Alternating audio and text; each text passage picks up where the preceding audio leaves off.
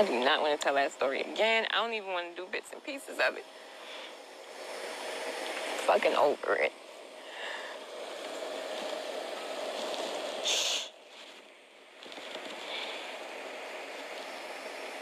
Malika and I sat down and um, Charlamagne asked us if we wanted something to drink. Malika took a drink, but I told him I was fine. I didn't want to drink.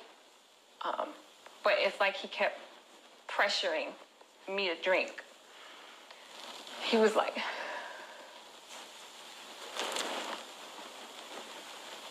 This is where Charlamagne gave Malika and I the drinks. He himself made those drinks. He told me that I could trust him. I was like his sister. He would let nothing happen to me that night. He repeatedly asked me over and over and over if I wanted to drink, and even after telling him no several times, he still pressured me. I finally took a drink. Now, mind you, I'm 15 years old. I'm a child, I'm a minor. I'm being pressured into drinking by someone who I thought I could trust. I let my guards down. And I said, you know what? This is my friend. He won't let anything happen to me. And he betrayed me. He allowed his friends or cousins or whoever those guys were to take advantage of me, and he himself took advantage of me as well. He brought me here and left me here.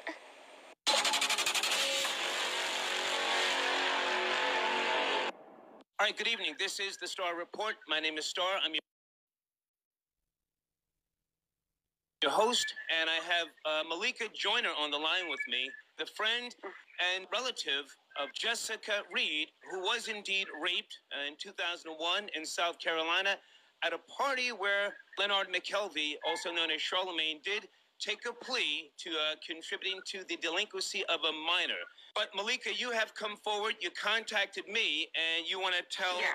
you want to tell what you saw. I mean, let, let's just get right to it. You what, what did you see that? Um, well, okay, we can get right to it. Um, we were offered drinks. Um, there was something in the drink. He went in the kitchen, made a drink for me.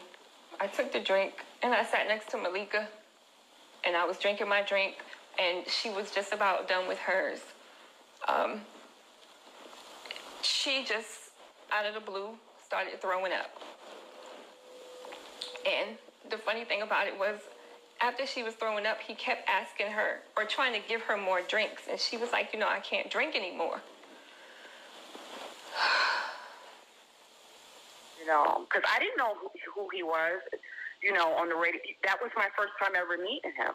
I was introduced through Jessica. I, I knew nothing about him. I was basically going there. She asked me if I would like to go with her, so I said, "Yeah, I'll go with you." Right. You know, so um, I, I didn't know him at all prior to this event occurring. I didn't know who he was. I sat my cup down and I just said, okay, I started feeling, I started feeling weird. And I said, okay, I'm gonna go to the bathroom. This is what I told myself. And when I got up to go to the bathroom, I fell to the floor. I couldn't move my legs. I couldn't move my arms. It's like I had no control over my limbs. I could see and I could hear, but I couldn't move. So I heard the guys in the back and they were laughing, and Charlamagne was laughing. And um, he told them to take me upstairs. Taken upstairs by two guys, one named Larry and one named Boo, who took me into a bathroom and violated me and took advantage of me. Charlamagne allowed these guys to take me upstairs. In fact, he told them to take me upstairs after giving me a drink with a drug in it. I got up off the couch and I couldn't even move. I collapsed to the floor, and all he could do was laugh. He didn't ask if I was okay. He didn't help me up. He laughed. So he took me upstairs, and then he took me into the bathroom. I did see two people escort her upstairs, but I, like I said, I myself was so, I was throwing up and so forth. I was out of it too, but I was still able to know what was, you know, able to see and hear what was going on. But it was like everything for me was slow motion. But she was escorted up, up the stairs with two gentlemen. Okay. They took me upstairs and took me into the bathroom. And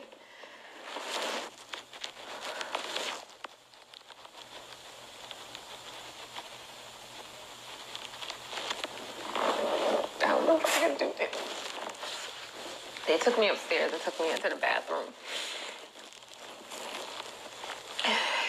And they had my arms like this. One was here and one was here. And they were holding me up because I, I couldn't hold myself up. And I had a dress on. I had one arm like this, and Larry was holding me up. And Boo had this other arm, but with his other hand, he was just forcing his fingers in my vagina. And I was just, just sitting there helpless. I couldn't do nothing.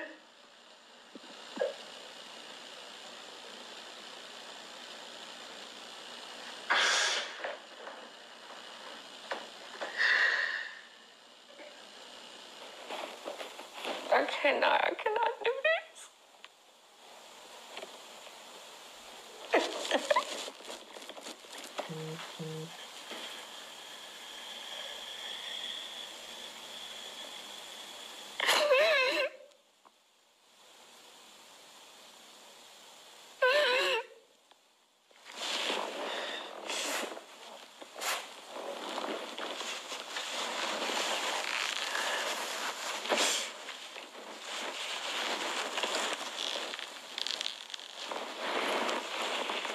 At any point were you in the room together with uh, with Jessica when she was being raped, or were you were you in another room and you came No. in? How did that play out?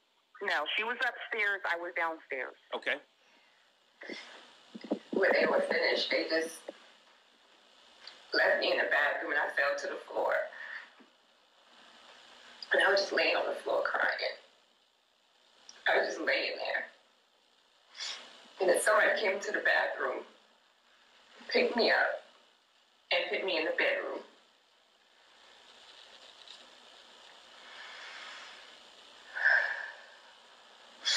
Left me in the bedroom, closed the door behind them. I don't know how long I was laying there for, but Larry ended up coming in the bedroom. He came in, he got on the bed, and he started to rub his penis on my body.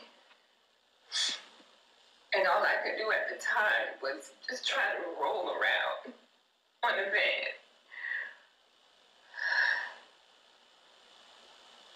And I was rolling until I eventually fell off the bed.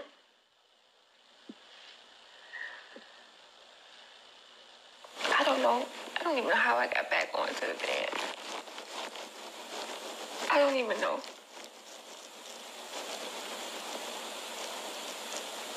But he left. And then Charlamagne came into the room. And I saw Charlamagne's face with my own eyes.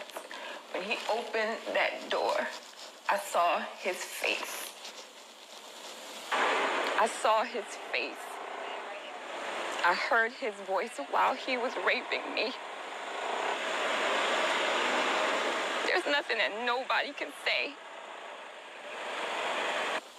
And started taking off my clothes. And started talking to me in the process. And he kept saying things like, I told you I was going to take care of you and nothing was going to happen to you.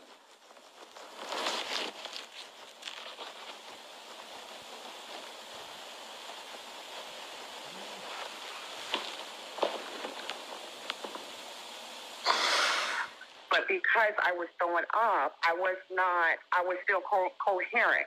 I was still able to, you know, I was still aware of my surroundings. So Okay. he couldn't really. He gave up with me, you know.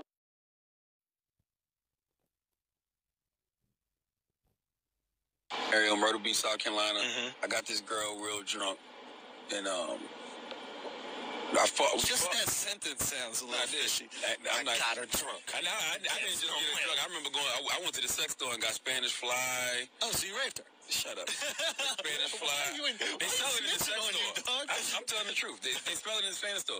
I had to fucking. I had to fucking. They I sell mean, knives in the sex store too. You could put that to a girl's throat Yeah, and have sex with her. Doesn't mean it's So- illegal. So I put the Spanish fly in the E and J. We drinking the E and J and shit. So in my mind, I don't know if this shit really worked, but I felt like I got horny as a motherfucker too. Right? So, She took advantage so, so she was drunk and shit, and we had sex and shit, and like. A lot of my boys was trying to come in the room and fuck her. I'm like, nah, she like, I can't, I'm not doing that. And I'm like, oh, you're on a train on it. That's rape. Yeah. Okay. So, right. So, It's so, just one on one. It ain't right. yeah, so the next Trains are rape. so the next morning she wakes up. The next morning she wakes up, and um, we talk about it. And she's like, "What happened?" Like, we had sex. She said, "Okay, well, I'm glad it was you." Then a couple days later, she's like, "Yo, are you sure I only had sex with you?" one of my stupid ass cousins was going around saying he fucked her, which he didn't. I, Okay. I know for a fact he didn't. I was Okay. there the whole time. Yeah. He did not fuck her. Yeah. He looked at her naked, but he didn't fuck her, right? So, so, so, I'm telling her, no, me and you just had sex. Nobody else did nothing. So it just was weird that she was like, well, I'm just glad it was you. You know what I'm saying? Because in my mind, I'm like, yo, you could have been in a real bad situation if it was That's another a huge motherfucker there. compliment, man. A girl just said, "Yo, at least you raped me." I didn't rape her. I did not rape her. I did not rape Hey, her. if it was any of your cousins or friends, it would have been rape. But I didn't rape her because me and her had every intention of having sex with each other. So then, why would you put the Spanish fly? I was a freaky. I'm still a freaky motherfucker, but I was a really. I was. I've listen. My Wait, whole was she passed out while you fucked her? Nah, she wasn't like. She was like one of those drunks where. listen. No, she was one of those drunks where like. She was one of those drunks, but she was like. Oh, like co- she wasn't coherent, but she was up. You know when your girls is like when you're blacked out, like that, don't know what the fuck's going on type shit. Like she was really. She was a. So, for those who don't know, Charlamagne the God is a well-known TV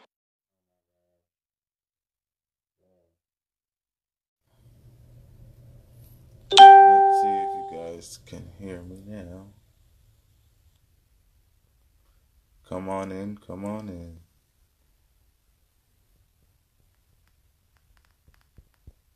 Let's retag everybody.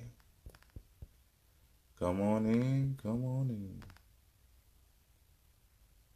Come on in, come on in. Can you guys? I was having a little trouble with sound earlier. Can you hear me? Before I go in, I need to know y'all can hear me.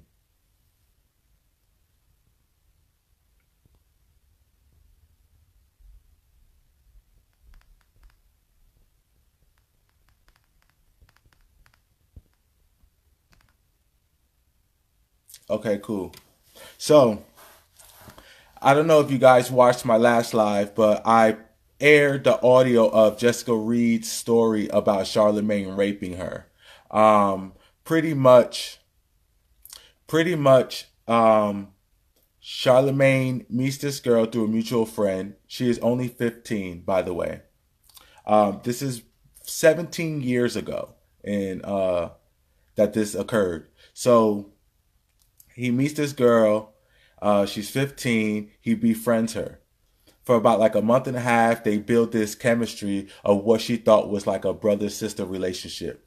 Um, he met her mom. Um, the mom liked him, and um, it was all, I guess, whatever. Um, he was told her he was 20, but he was really 22 at the time. So what he does is one afternoon he invites her to uh, a party, takes her to this party. She invites her best friend, uh, her best friend, to go with her. Um, they get to the party. You know, it's a whole bunch of niggas there. No other girls. Actually, she said there's two other girls, but they're in the back, and they seem like some like, I guess thoughts uh, as you would call them now. Anyway, um, So they were sitting on the couch.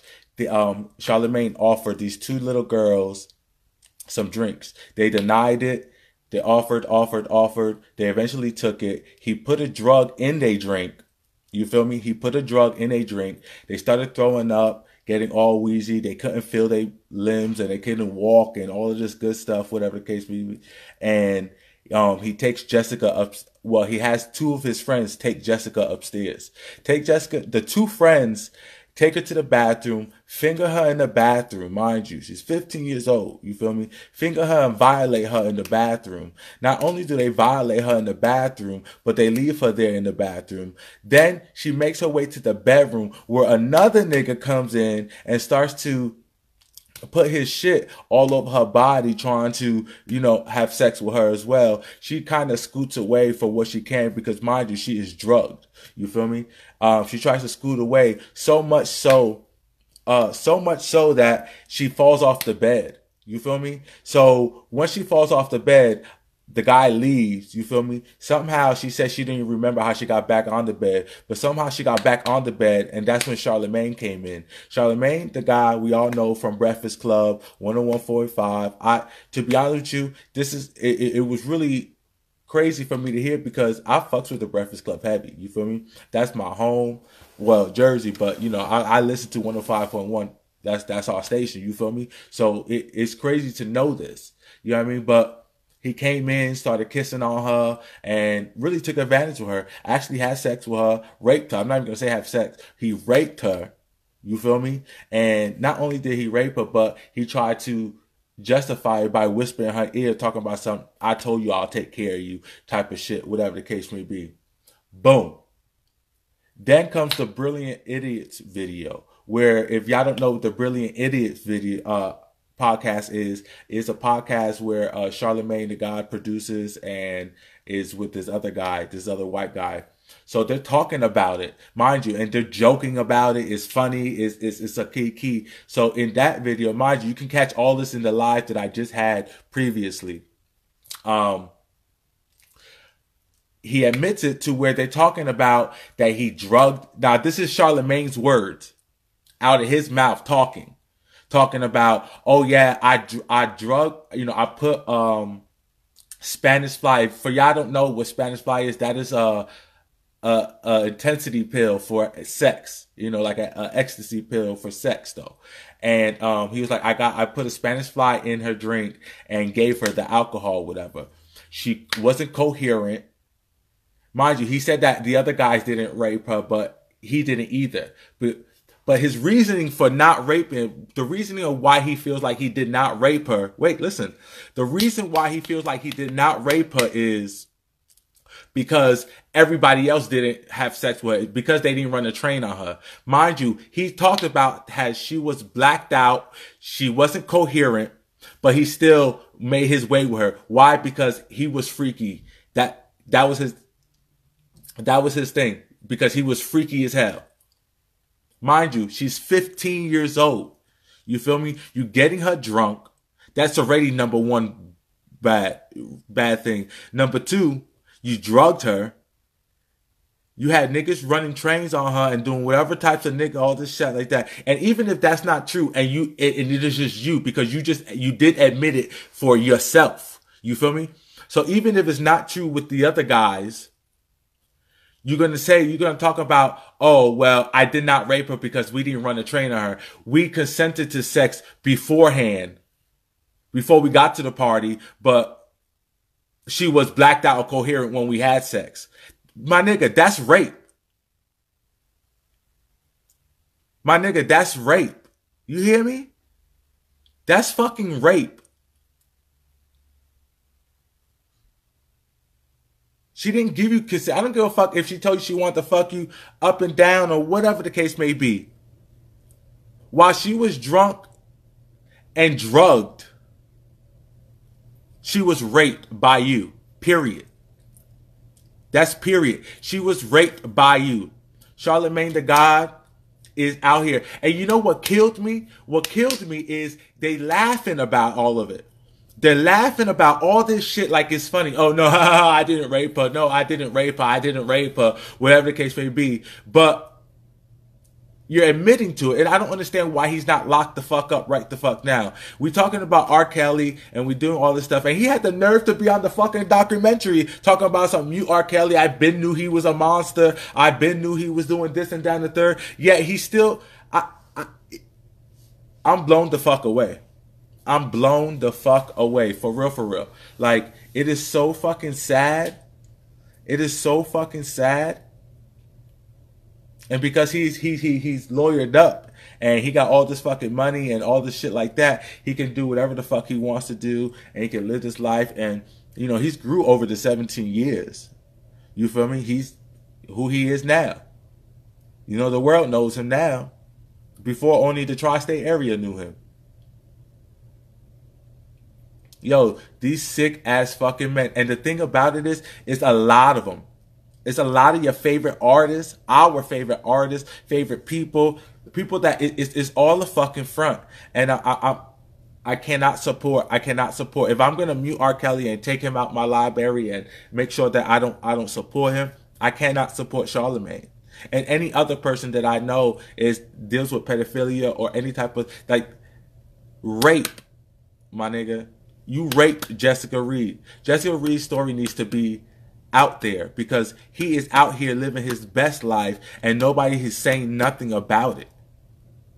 Please share this fucking live. Like seriously, if you're gonna share any of my lives, share this live. Share it, share it, share it, share it, share it. For real, for real. Because we're not talking about it. And it's time that we have to talk about it. And it's sad that it has to come for this, for all this shit to start coming out and all whatever the case may be. But it's real. It's real. And the reason why shit is coming out now is not because they didn't want to do it then or or or they lying and so they just trying to it's because we live in a better a, a better day. I overheard some you know somebody told me um it's you know this world is too sensitive, but maybe it's a good thing that we're too sensitive nowadays because we're catching shit that we allowed to happen before that we're not allowing. We failed Jessica. We failed all the R. Kelly survivors. We, we failed them as a culture, as a society, as a, as, as, as, as not only the black community, but us as human beings, period. Like, these are children. You know what I mean? Our children. Are you kidding me?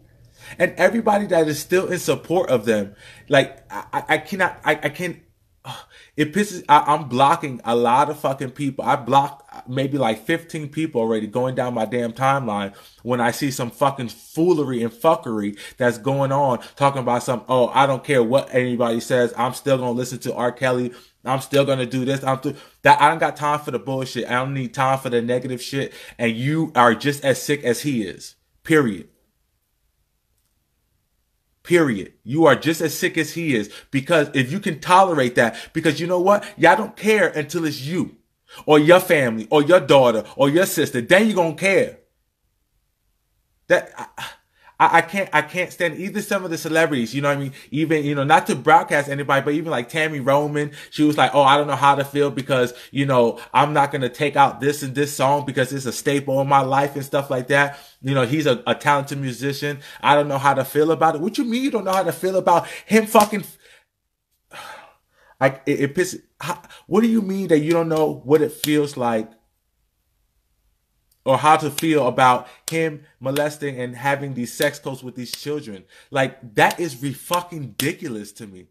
You should know how to feel because if it was your daughter, if it was your daughter, I'm sure you'd be wanting to blow his fucking house up. That's what I don't understand. Nobody cares until it's you or your or your situation. I don't know. I don't know what the situation is to blame the parents. I don't know what the situation is to do blame anybody else but R. Kelly and Charlamagne the God and anyone that was around that tolerated, accepted, or helped the situation. They are to blame. Period. Period. Please share this live. I need everyone that is watching right now to share this live. It is very important that we get these words out about not only R. Kelly, like we're talking about R. Kelly and it's good. We need to keep talking about it. Don't let it fade away. Don't let something new distract you from what's really going out, what was really going on out here. For real, for real.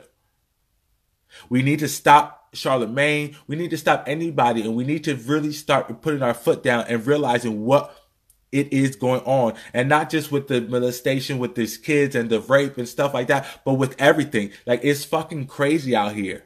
Somebody wrote in the comments that it's, it's, it's, it's, you know, end of days. I really believe that because the, like, y'all motherfuckers are crazy. Y'all motherfuckers are crazy as fuck. I don't understand how you you Charlamagne had the nerve to be on the fucking documentary with fucking R. Kelly talking about he's a sick bastard. He gave R. Kelly Donkey of the Day. They've been talking about it on Breakfast Club. Like, and up to when I found this video and I heard about this, because I never knew about it. Had I known before, it would have been a done deal before. And with R. Kelly, I, I really never listened to R. Kelly anyway. Yeah, he has some great songs. You know what I mean? Everyone knows some songs. You know, you got songs that he, you know, he done that you don't even, you know, just because it's, it's it is a staple. But that music doesn't trump raping kids. Music doesn't trump having sex code and doing all of that. Like that doesn't trump all of that. I don't understand. Y'all pick and choose who the fuck y'all want to hate and love. I understand y'all, y'all pick and choose y'all villains, y'all pick and choose y'all heroes, and y'all make no sense in why they are it because of solely because of his music. Are you kidding me? Because of I believe I can fly. I believe I can fly and do shit for my motherfucking life. I believe I can fly and put no fucking bit, no fucking checks in my pocket, and put nothing, didn't do nothing. But gave me a good tune to listen to in my motherfucking ear. Just like a hundred other motherfucking staple songs that's out there.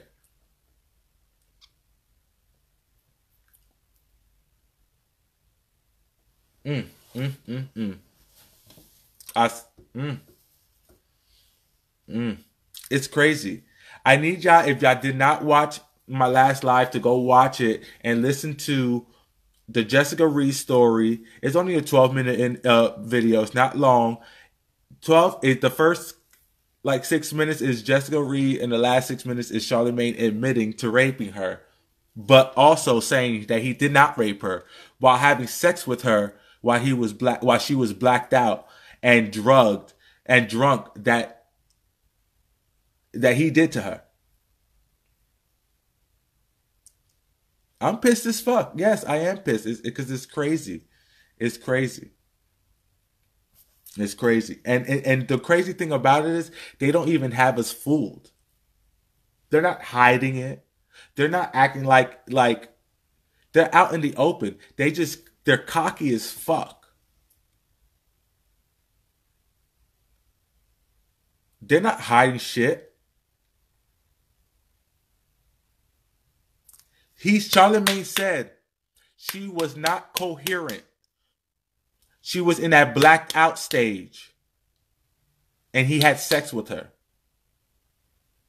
Then proceeds to say, then proceeds to say that next morning, she said, "Oh, did we have sex?" And she she said, "You know," she said, "What happened to you?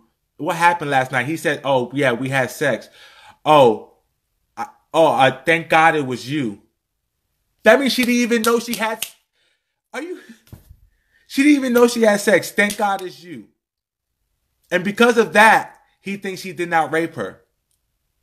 That's like saying like the, the guy said in the video, that's like saying, that's like your homegirl or your homeboy stealing from you, but he gives it back and and then you forgive him. So you're like, okay, it's it's fine. It is what it is. That doesn't take away that he fucking stole from you.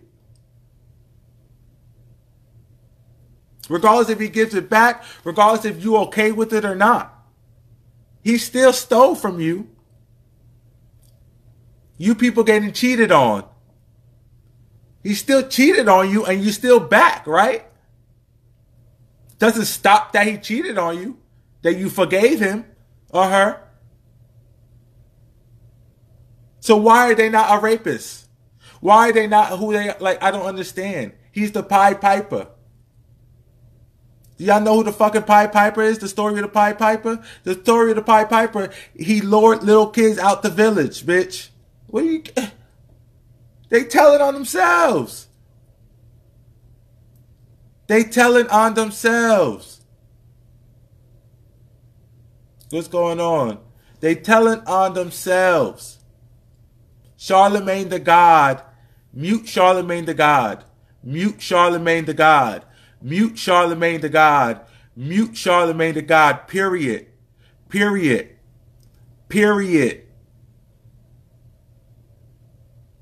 Period. What's going on is once you leave this live, go to my last live. My last live showed Jessica Reid story. Jessica Reid is a well, she's older now, but when she was 15, was raped by Charlamagne the God. Charlamagne the God has admitted to raping her, but says that he did not rape her because his boys did not run the train on him and they consented to mm-hmm. before he drugged her and raped her. Mm-hmm. But he definitely said that he put Spanish fly, which is a is a, a sex ecstasy that enhances your feelings and your hormones, but is a drug. He he admitted of putting that in his in the drink and giving it to a 15 year old girl, then having sex with her while she was blacked out and and not um not coherent. This is all out of his mouth. I'm not saying that it's not an accusation. This is out of his mouth.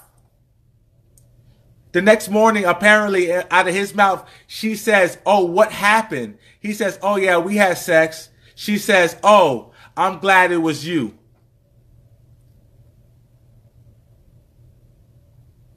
That's not rape. That's not rape. That's rape, boo. That's rape. That's rape. 15 years old. He was what? I think he was 22 at the time. He raped that girl. According to her story, so did three other people. So did three other people. But he says it was only him. And because it was only him, and because it was only him, it wasn't rape. Mind you, this is out of his mouth out of his mouth. And then they're laughing about it. Y'all can all watch it. It's on my last live. Go back and watch it. The first six minutes is Jessica Reid. The last six minutes is Charlamagne admitting to it. Are you fucking kidding me? And got the nerve to be on R. Kelly's fucking documentary calling him sick. These motherfuckers got me fucking. Lord, please share this live share this live. For the people who support me and my show, we muting this motherfucker. We are muting this motherfucker. Period. Period. Mute. Mute. Mute. He no longer exists. And it's sad because I love the Breakfast Club. I don't love them that much. You hear me? I don't love them that much. There's other talk shows. There's other radio station. Look, I found a newfound love with Lonnie B. So I could listen to him every damn day now. Fuck Charlamagne. Fuck R. Kelly. And fuck whoever else is out here. Like, seriously. Seriously. This drives me nuts. I'm pissed. I am pissed. I'm pissed. I'm pissed because it's sad because all we do is is is congratulate and and help these people succeed and get to the standard. Because the reason why R. Kelly's not locked up right now is because of us. Because of us. That's why 15 and in counting people are blocked on my motherfucking page because I cannot deal with the fuckery. I will not deal with the fuckery. Keep R. Kelly if you want to. You don't got to comment on it though. You don't gotta be like, I don't care what's going on, but I'm keeping R. Kelly. Block. Not unfriend, block. Because there's no need for you, period, to exist to me. Block. You hear me? And don't stop talking about R. Kelly. Don't let this fade away. Don't stop talking about Charlamagne. Don't let this fade away. Don't let it fade away. Something has to be done. Period. Something has to be done, period. Thank you guys for watching. My mouth is dry as fuck. My throat is scratchy. I'm pissed. And I'm gonna get off of here now. I ain't gonna talk. I ain't gonna be ranting and raving no more. But I ain't gonna stop talking about it. You hear me? I love y'all. Peace.